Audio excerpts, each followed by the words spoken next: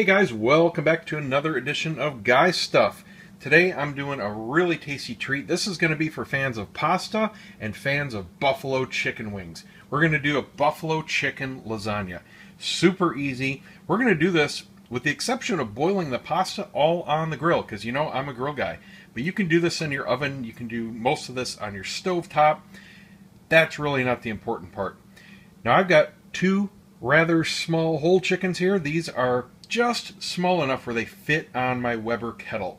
I'm going to do these beer can style, but you know what? You can do your chicken just about any way you like. The only thing I'm going to suggest is that you make it as neutral as possible. All right, now normally when I do a beer can chicken, and you can check out my video on doing that, I'll go through all that kind of stuff. I'm not going to show you all the details of that, of that, but you know what? There isn't that much to this. Basically, you're just steaming the chicken from the inside. It's a very tender, great neutral way of doing it. Plus, for this recipe, we're going to be shredding the chicken, and beer can or rotisserie works out beautifully for that. I'm not putting anything on the chicken, okay?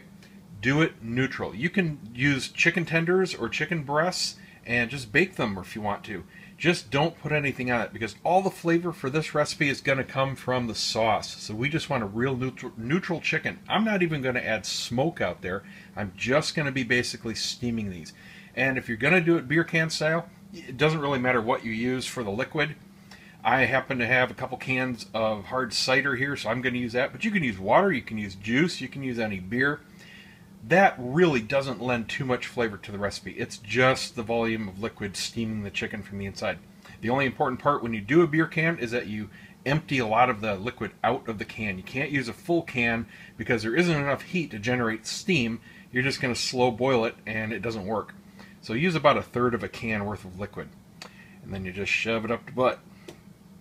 Besides the chicken, we have a couple packs of cream cheese, a whole white onion. We're going to use a couple cloves worth of garlic. You can use fresh or these uh, refrigerated minced cans work really well.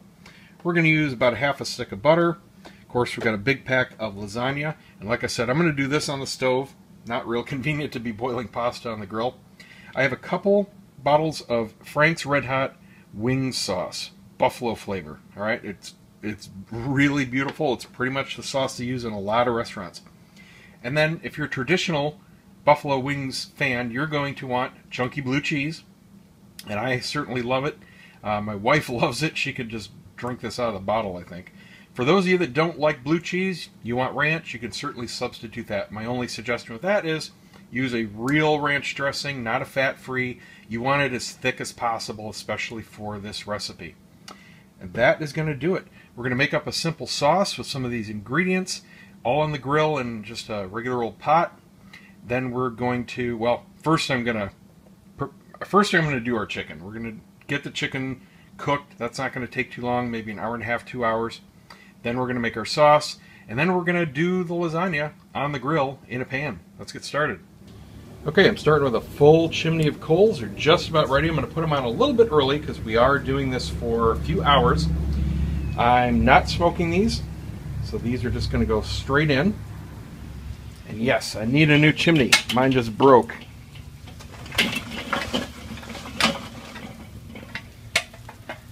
All the coals go on one side. Now I'm going to put the grate on here. I got my chickens ready. We're going to do them for about one hour and then flip them around. We're going to start them breast side towards the heat. Now the only thing important here is you want them to be able to stand up, so you, you got to put them far enough in so the lid doesn't knock them over. Make sure it's steady on the can because you don't want this tipping over.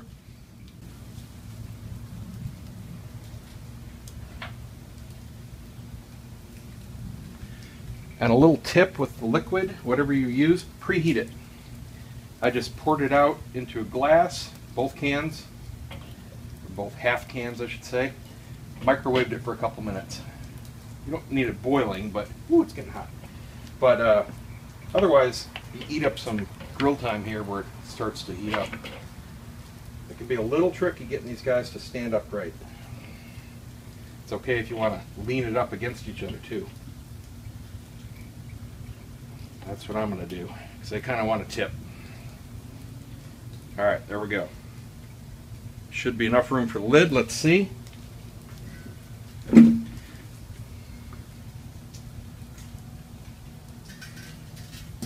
There we go. Barely. They're just touching the tip here. Now, you want to do these, if you didn't watch my other video, I'm going to do these about 300 degrees. You need the temp high enough where it's going to really generate some steam out of those cans. Actually, I'm going to turn my vents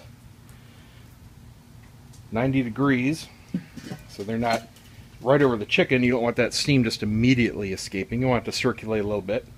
So if you don't really know your grill, use a thermometer to get in there and get it right about 300 degrees. I happen to know my vent combinations and how much charcoal I'm using, so that'll be dialed in. Now I'm going to come back in an hour and we'll just flip those flip them around. Is it smelling good? These have been going about an hour and a quarter. Let's take a look. Ooh, hot handle. Oh, beautiful. Nice golden brown going. Got some of the fat rendering off. Oh man, it smells like Thanksgiving. It really does. It's got that delicious, juicy turkey smell, even though it's chicken. You can see the juices dripping down there. Of course, some of that's going to be steamed too. Absolutely tender, I guarantee it.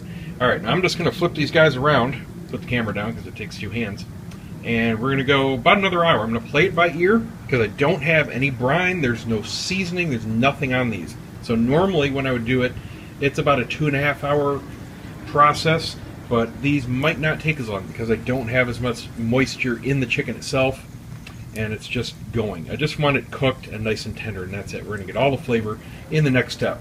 Now the coals should last until we're done with the chicken. I'm going to have to throw on a little bit more just to bake the lasagna. Alright, next step. Okay, the chicken's been going two hours. It's almost done. So now we can start prep of the rest of the stuff. I've got the water coming up to temp to cook the pasta and now we're going to start making our sauce. The first step is, you ready for chicken Chloe? Yeah? We're going to dice an onion. And now we're going to take half a stick of butter, melt it in a pan, and we're going to put in a couple cloves worth of garlic and the onion, reduce it down. All right, medium heat, Onions go in first. They always take longer than garlic. You never want to do garlic more than a minute or two. You just want it to sweat, caramelize a little bit, but it burns really quickly. So we put the garlic in when we're down to the last minute or two of the onions. We want to get these real translucent and soft. These are in here for flavor, not texture, so we do want them to break down. Just do it over medium heat. Shouldn't take more than five or six minutes, and then we'll be ready for the garlic. Meanwhile, our water is at a boil and I've salted it. Now we're ready for the pasta. Just follow the instructions on the box for whatever brand you're using. Mine calls for a reboil and then 10 to 12 minute al dente time. I'm going to go a little bit on the short side, so I'll hit it at 10 minutes because we are rebaking this. And it's going to be in a lot of sauce. So we don't need it absolutely perfect out of the water. So we're just going to let this reboil. I'm going to set the timer and then we're going to pull it off and get it out of the water right away. Okay, our onions have softened and they're starting to caramelize. I'm going to go ahead and put in some garlic now. This is somewhat to taste, but I do recommend at least a little bit. Keep that stirring. Just let it go for a couple minutes. And then we'll be ready to stop this part cooking at least. Alright, this is now softened and reduced nicely. Just make sure nothing ever sticks. If you start to burn garlic, it ruins whatever it's in because that's all you taste. Very, very potent when you burn it. Now we're going to put in the two bottles of the Frank's wing sauce. Put them all in here. This is what kills the cooking real quick. It's going to be a lot of liquid, which is exactly what we want.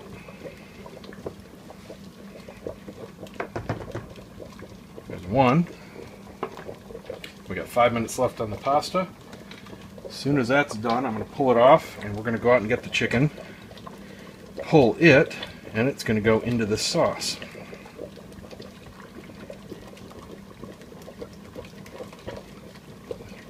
And we'll just let this heat up slowly on the medium heat. It won't get near a boil or anything, but we're just giving it a head start.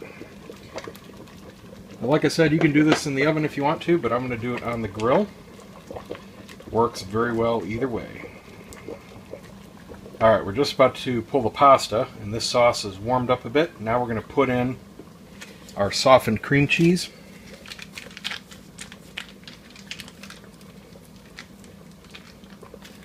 Uh, need a knife. Aha. Without cutting my hands.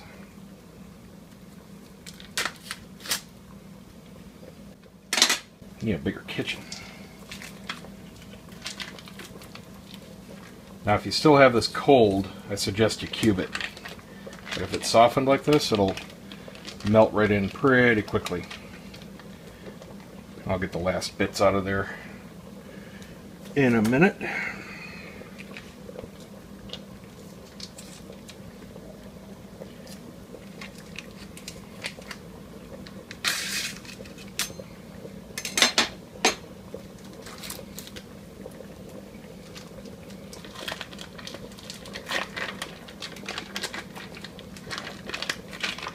Now we just want to fold this in and mix it in as part of the sauce. Got our pasta done. I'm going to set this aside and just let it cool down. Turn the heat down a little bit on this. Don't really want it sitting here boiling. This will incorporate the cream cheese in just a few minutes. As soon as that is all smooth, it will be ready. And it will be ready by the time we get done with the next step which is pulling the chicken off the grill and shredding it. again, if you want to do chicken tenders or breasts, you can do that and just shred it. You want to take the skin off, whatever you're working with. And we're going to add it right into this big pot. And again, if you want to cut everything in half, so you don't have to use these huge pots and everything, that's perfectly fine too. I'm doing a very large family size because I love leftovers. Let's go yes, get let's go get the chicken.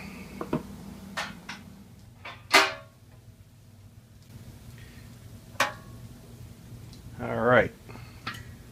Time to pull our chicken. Oh, that looks good. That looks delicious.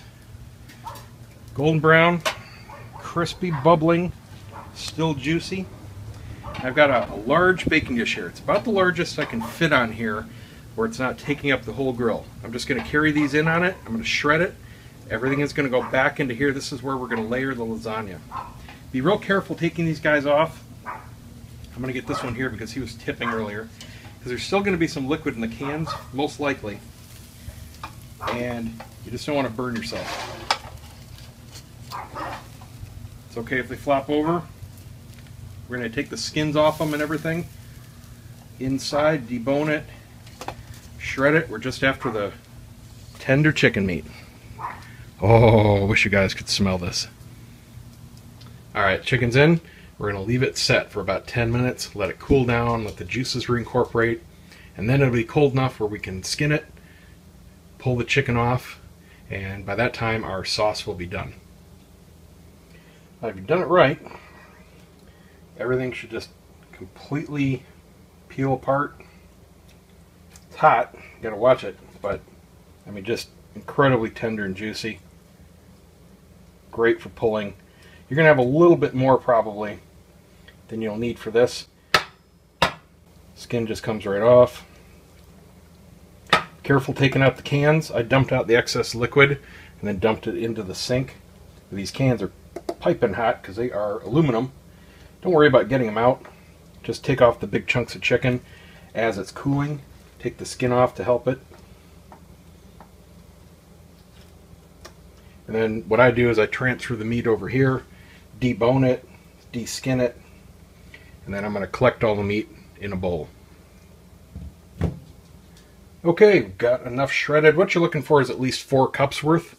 I've used about three quarters of these two chickens. You can take whatever meat you like best. I'm a dark meat fan, so I took that first and then filled in the rest with the breasts and the tenders. I'll tell you what, no matter what you do with this chicken, this is the healthiest way you can do chicken, and it makes it one of the healthiest types of meats out there possible. There's nothing on it. I mean, nothing. No salt, no pepper, no seasonings. It is just pull apart, juicy, very flavorful, just delicious. Absolutely perfect all the way through. And every bit of meat. I mean, this is how you can do rotisserie at home. You don't have to go to the grocery store and pay 10 bucks for one of these to be done rotisserie style.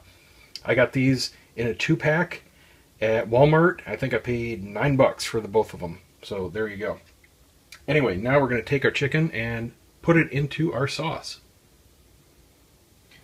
Got our sauce just on simmer here. Once it comes up to a boil, you just kick it down. You just want to keep it warm.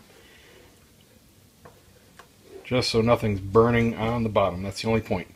So in goes our chicken. Just mix it all in there. We're just going to get it coated.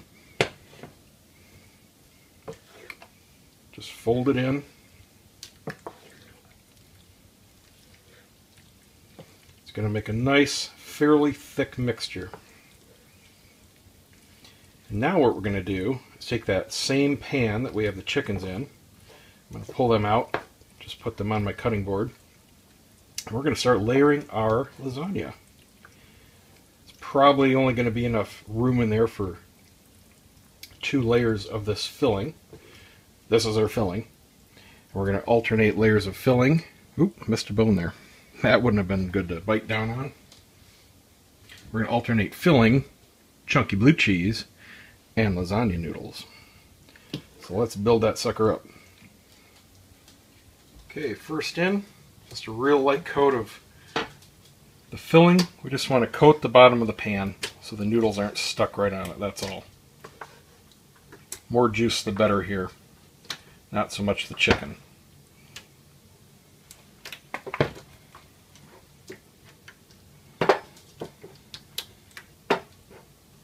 Just a thin coat. We're going to have plenty of juices running down while it's cooking. Alright, now the base layer of noodles. They've been cooling so they're a little sticky. Just try not to rip any. Shouldn't be that big of a deal. Lasagna noodles are very hearty. You can layer them any way you want. You just want even coverage. It's okay if you have to cut some. I'll probably do one horizontal here at the end, I see. Doesn't have to be perfect. You just want a nice even layer. So I'm going to finish this up here. Oh, I guess I'll let you guys see it. Not that big of a deal. I'll fill in the end here. Come on, noodles. Because I was filming and prepping stuff, I was a little off sync here. So I'm going to tear this at the end, just because I don't want it wrapping up the side of the pan keep that aside. All right, now we're going to do one normal layer of filling. Again, nice and even. Not too thick.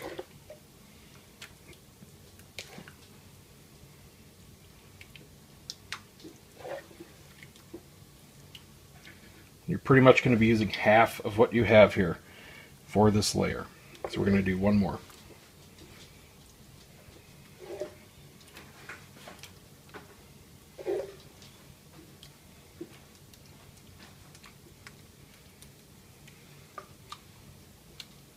There we go. All right, next we're going to layer in one bottle of the chunky blue cheese. You can just kind of drizzle this. You just want it nice and even also.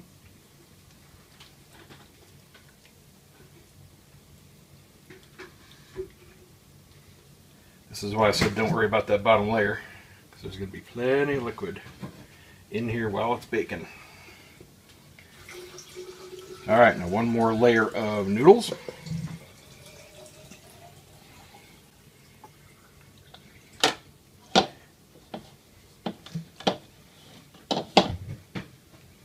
Come on, Noodles. It's like a tangled mess of cables.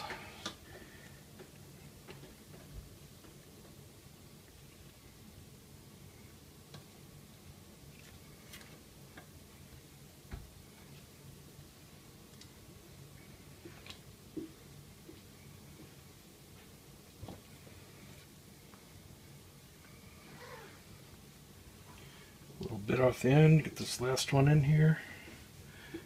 Put this guy in the middle. There we go.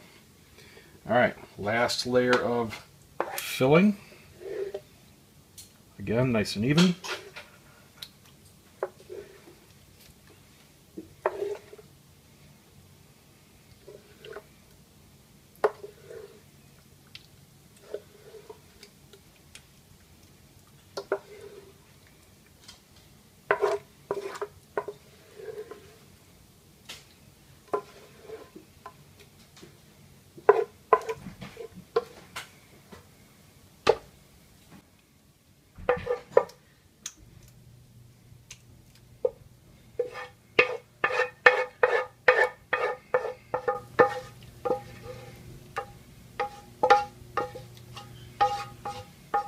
Right. Almost there, almost there. Last bottle of blue cheese.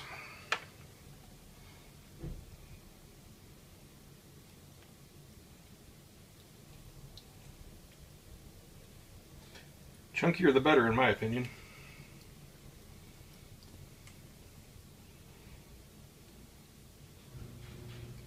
One more layer of noodles. Can never have enough layers of noodles.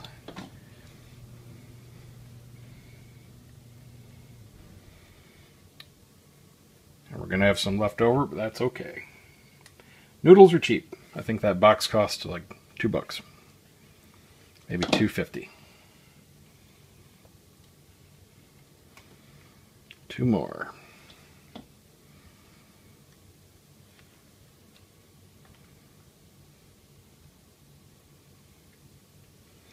All right. Now, we're going to top this off with mozzarella. If you want to use a different cheese, that's fine too. You just want to coat it with a nice, thick, even coat. This is going to help all the steam stay in and, of course, give a really beautiful topping to the lasagna. You want a nice, even coat all the way around.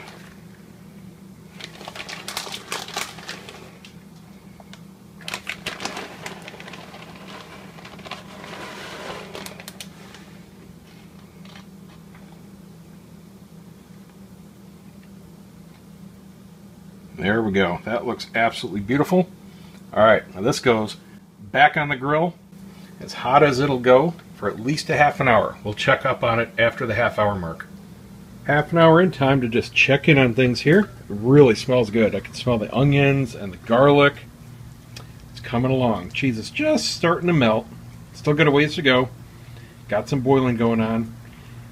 You know what? I'm going to go ahead and flip this around because I'm, I'm about half and half on the grill here, direct and indirect. There's no coals directly underneath it, but they're pretty close to the edge here. So I'm just going to spin this around, get some more even heat. Mmm, that is smelling good. And there we go. I'm going to finish it off here, probably another 20-30 minutes total, and I've got it over what's left of the coals, just to eke out as much heat as I can from it. I'm going to get the lid on before I lose too much of it here, and almost done. Oh man, this whole back porch just smells so good. Let's take a look here. Oh yeah, that is ready. All right, the wife is still at the gym. She's going to be home real soon. I can see the lasagna noodles around there just crisped up. Cheese looks almost completely melted, 95% or so. Perfect there. The rest, I'm sure, will just be melting your mouth good. Still got the juices boiling away.